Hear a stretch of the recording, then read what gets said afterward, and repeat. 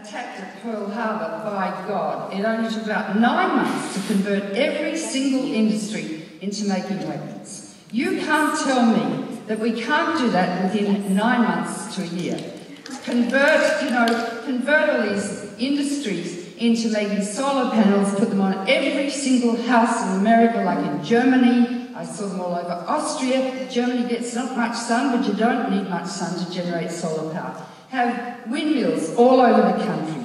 As mentioned, there's enough, there's three times, the, there's enough wind west of the Mississippi to supply three times the energy this country currently needs. We need to upgrade the grids. Easy. Where's the FDR that will lead us towards sanity and survival? I see that not happening in this Congress, or pathetic. I see it not happening with Obama, who's now become a captive and maybe always was of the corporations. So how do we have a revolution to stimulate that? Well, let me tell you about a revolution that we had in the 80s. When I first came here in 1978, almost every American I spoke to said it's better to be dead than red. I said, what? What? And they said, no, we don't want to be communists. And I said, well, what about the pygmies in Africa? And they said, this is true. They don't want to be communists either. And they would rather have a nuclear war than be communists. And it was a mass psychosis. This country was psychotic. anyway, so I thought this is crazy, so I got together Physicians for Social Responsibility and we recruited 23,000 doctors and we had 153 chapters.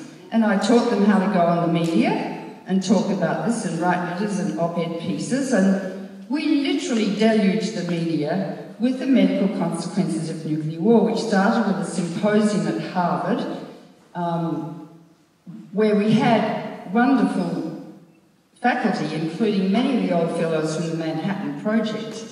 Vicky Kistiakowsky, uh, no, George Kistiakowsky, Vicky Weisskopf, Philip, what's his name, Philip? Edelson. No, anyway, I can't remember. Morrison, yeah. Um, and they talked about their guilt, really, of building nuclear weapons, and a lot of them were dedicated to nuclear power because they thought that would fix things and alleviate their guilt. But they all went to their graves feeling tremendous guilt. And these symposia were interesting because afterwards the media said, well, what, are doctors talking about nuclear war for? That's political. And we said, no, actually, it's medical. That nuclear war will create the final epidemic of a human race and they started to buy it.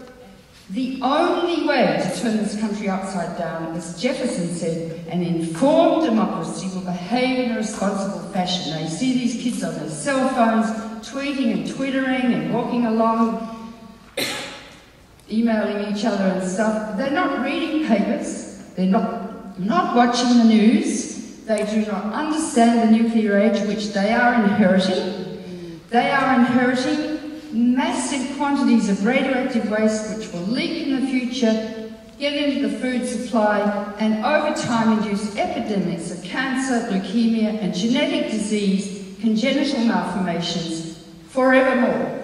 You can imagine our descendants waking up in the morning. The food already radioactive, the breast milk radioactive, the babies being born deformed because they're exposed to radiation in utero, which we heard from Dr. Wojciechowski, um, and getting cancer at the age of six because they're ex exposed very early or in utero. That's the heritage we leave to our descendants. And we can talk till the cows come home about nuclear accidents, which are severe. But the most important issue is this radioactive waste. Piling up all over the world and no one knows where to put it, and we don't know where to put it, and we never will. And I've been debating with the nuclear industry for 42 years, and they say, don't worry, we're good scientists, we'll find the answer to radioactive waste. They haven't attended to it. I mean, they're like surgeons, you know. We don't clean up after us, we just let the nurses clean up. We're not interested in the waste we create. We're arrogant. Well, so are they. They're interested in building bombs and designing nuclear power. It's all very exciting. Mm-hmm. So I, I say to them, well, that's like me saying to a patient, I'm sorry, but you have pancreatic cancer, that's what the CT scan shows, and your prognosis is probably six months, but don't worry, I'm a very good doctor. In 20 years' time, I'll find a cure. But there will never be a cure to the storage of radioactive waste. So we're in a very, very, very serious predicament. And as Tim Mousseau's work shows, that we're not the only ones with genes and who get congenital malformations. All plants and animals have genes, and what we're doing with this radioactive waste, or when it leaks out from reactors, or whatever, is producing random, compulsory genetic engineering forevermore. So, we're, facing, uh, I guess, the end of the earth, life on the planet. I said once to Carl Sagan, do you think there's any other life in the universe? He paused for a long time and then he said, no. And I said, why not? And he said, because if any species had reached our stage of evolution, they would have destroyed themselves. So here we are with global warming upon us. We've had the hottest days in Australia we've ever had. It's a day of 120 or 124 degrees the other day. I thought I was going to die. We're in the middle of a forest of eucalyptus trees which explode with the heat. The fires jump miles as cinders fall down. There was a fire 35 kilometres from us. The wind was blowing at 100 k an hour towards us. We had our bags packed, our you know, photographs, passports and everything ready to evacuate. The house was gone. It's terrifying.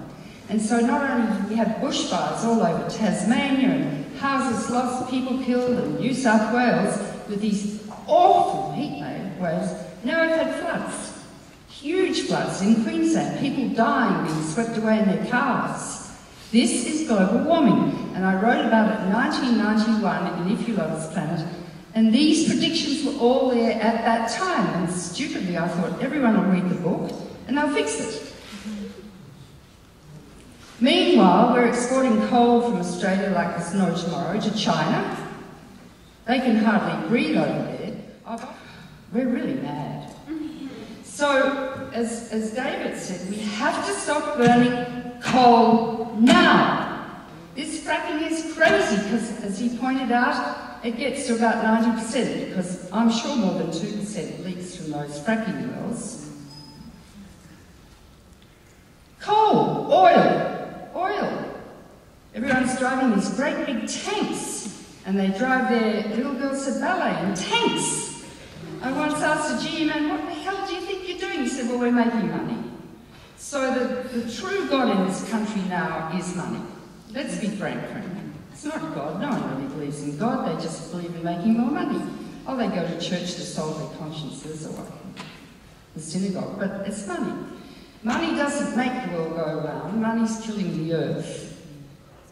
So we can fix global warming. We can stop mining coal, we can stop fracking, and we can stop you know, as David said, all parking lots in, in, America should be covered with solar panels and electric cars to plug in. So we've got electric cars. Um, I've just been in California. There are hardly any solar panels on the houses. Every house in America should be solarized. And you can't tell me uh, Americans are not smart. That's how you got rich in the first place. Yeah, you had some natural resources, but you've got a lot of ingenuity. But now all your jobs have gone to China. You don't buy anything here that's made in America. It's all made in China, so no wonder there are no jobs. But by God, could you get going? You could really show the earth what an energy responsible nation will do and become the energy superpower of the world. Easily. And it's true that we waste up to 30% of the electricity. Well, you do. You leave everything on all the time. Sense of entitlement is amazing. I mean, if everyone stopped using clothes dryers, you'd save almost the same amount, or a bit less, than nuclear power producers.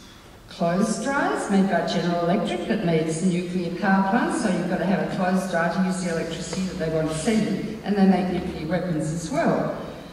I've never used, I don't use clothes dryers, I hang my clothes in the sun. But there's a law in Atlanta that can't do that because Mrs. Brown next door might see your brassiers and your underpants. And that's kind of rude. How ridiculous. and dry them outside the, the furnace in the winter. You know, it's simple, it's so easy. I ask people where their electricity comes from, they haven't a clue. You walk in those doors like that, the global warming doors or the carcinogenic doors. We need to think about the way we live. We don't walk upstairs, we take an es escalator, global warming escalator. So we're killing ourselves to kill ourselves better. So we can fix global warming. And we need to have, we need to educate people through the media. The media is determining the fate of the earth. Similarly, we can close all the reactors down. There's so much data and evidence we need to get the doctors in particular in the media again, teaching people the medical consequences of nuclear power. And lastly, America and Russia own 97% of the hydrogen bombs in the world. They've each got about a thousand on hair trigger alert, three minutes decision time by the Chinese are hacking into the early warning system. They get a thousand legitimate hackers a day.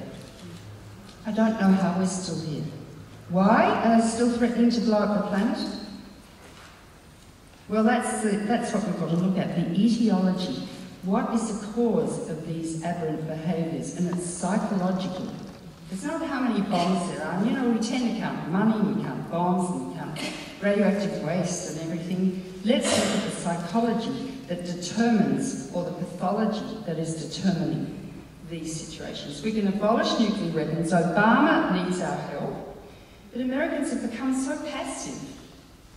Now, when I say you spend a trillion dollars on killing, socialised killing, which it is in the Pentagon, socialised killing, and you don't even have a free medical care system?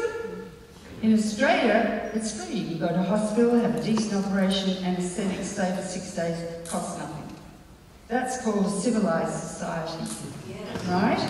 Well, so we can get moving, but and to teach people what's going on, and, and the doctors need to step up to the plate because this, this situation, nuclear war will create the final epidemic of the human race, so will global warming within this century, and nuclear power for the rest of time. How dire the situation is, how we stay up all night with the patient. And we don't even think about tiredness until we hit the wall at 2 a.m. and have to have a hamburger and a milkshake. But you don't think about yourself when you're treating patients. So we mustn't think about ourselves or our lives when we're trying to save the planet. The only life in the universe, probably. The responsibility is so huge, and I wouldn't talk like this unless I knew there were answers. Abolish the nuclear weapons now, close down all those reactors now, and stop burning fossil fuel now, and fill the country up with, with solar and wind and geothermal and conservation, and it would make the Americans so proud. They need to be proud of something like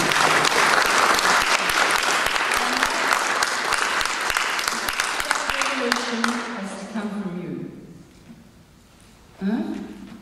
I'm 75, I'll probably be dead soon. Okay. So, uh, look, I want to thank all the people who presented. I think it's been a magnificent conference, actually far beyond my expectations. But I, I welcome your now your own initiatives to do what you must do individually to save the planet. And I want to also um, honour Alexei Yablokov, who has provided such an enormous